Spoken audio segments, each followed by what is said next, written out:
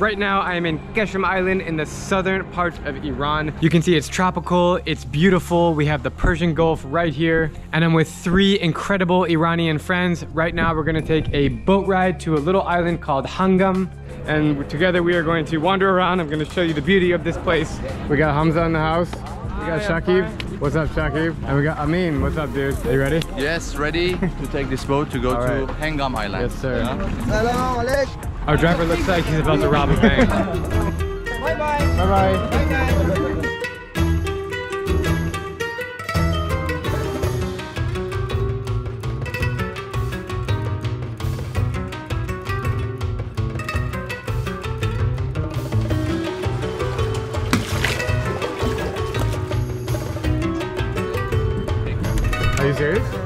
You have to explain that I'm a foreigner. Yeah, there's a new room here. Apparently I can't visit without getting a, a official... We, we walk through the village, yeah. we go up there. We gotta let them know that I'm coming. Yeah, some paperwork. That's how it goes. We travel to countries like Iran.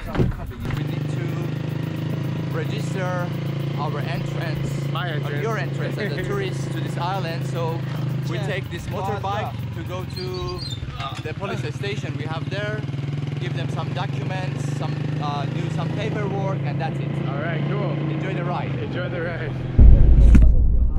More questions, more questions. At this point, I'm numb to this stuff, to checks, passport checks, border crossings, police stations. But I'm not getting det- detained now. We're good. All good? Yes, all good. It says camping is uh, not allowed. American goes to hotel. It says. I said yes, we are in hotel. Well, I'm not sleeping here. No, I told him, but we are not sleeping here. Teşekkür. Oh, thank you. Thank you. Thank you very much. Bye bye. Merci. Khudafiz. Hello, salam. How are you? How are you? Good. What's your name? Yes, no. Irani.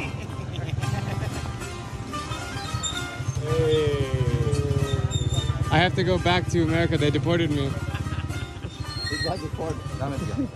So let's go and explore Hengam Island. We will go to the to the village market and we'll wander around the, the I love markets, man. You know that. There's a lot of Iranian backpackers here. Yes, yeah, yeah, I told you. It's many of the young, Hippies. especially hippies, young Yeah. boys. We just entered a really cool little market right on the beach. This is like the major market of the town. Yes, uh, so because many Iranian travelers come here, so the local people made this market, selling food, selling local dresses. This is extremely hippie vibes. This is an Iranian vacation. Look around me. It's all Persians from all over the country who come here to go to the market, to hang out, take selfies. What a vibe. I mean, one, two, three, yes. what do we have here?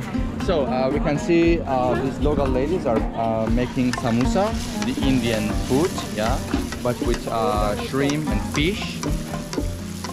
So 1,650, which is almost how many dollars? A few dollars. Uh, seven dollars. Seven dollars. Oh, that's yeah, more seven expensive than I dollars. thought it would be. Yeah.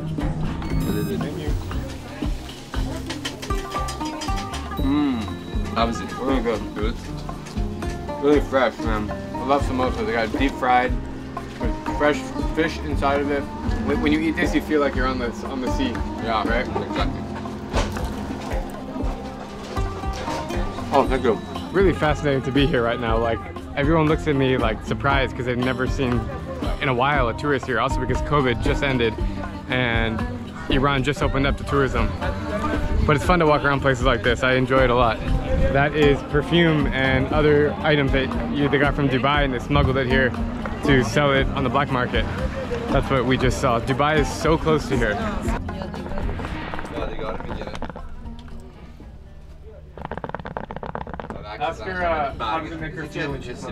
سرمو میگیره سردر نمیگیریم سرما در اعصابم راحت میشه She feel relaxed. If she doesn't smoke that, sometimes she gets headache. But when she smokes that, she feel relaxed. Tell her for me it's the exact opposite. اون میگه تو میگه برای من برعکسه من وقتی میکشم سرم گیج میره آه تو سر گیش ما اعصابم راحت میشه She, she said no I feel relaxed after smoking that Wow. All right, we're about to take a tuk-tuk to the other side of the island because why not? Alright.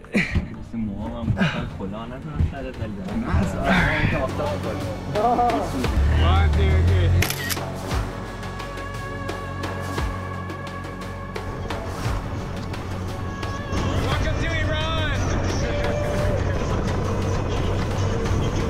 They have gazelle out here, small little antelopes scattered around this island. But they're hard to find and they don't always like human interaction. Oh, yeah, I see one right there, yep. But you said they're not indigenous here? No, they're not indigenous. They were They have been brought here for about like 50, 55 years. And it has been good for them, so now the numbers are quite high. Well, that was a great experience on uh, this little island here. Now we're gonna take a boat back to the other island, the bigger island, get some food and uh, call it a day.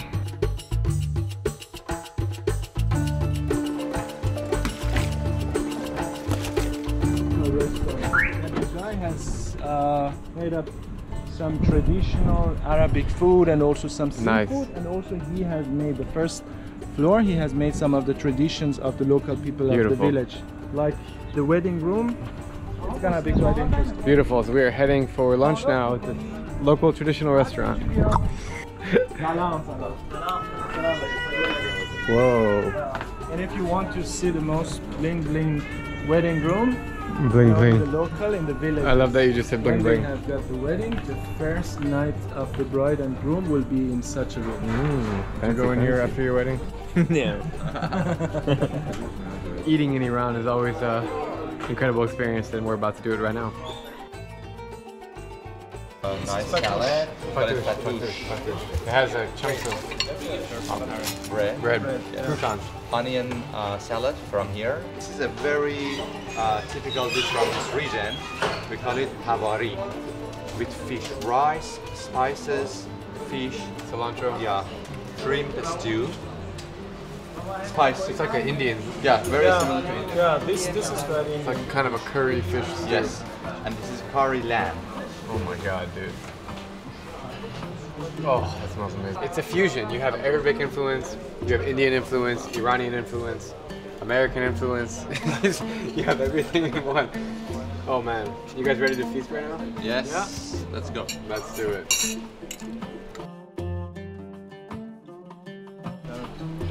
Ooh, is this a beef? No. Fish. Fish, yeah. Careful with the bones. This guy is bursting with flavor. A little bit spicy too. Mm. These deserve some attention. This is basically green olives with pomegranates and walnuts mixed inside. Fesenjan? Is that what it's called? No, no. Fasanjan, uh, It's similar. Pomegranate sauce and walnut, but this is Oh. Every day I eat this. Amazing. All right. So this is a very uh, typical dessert from this region.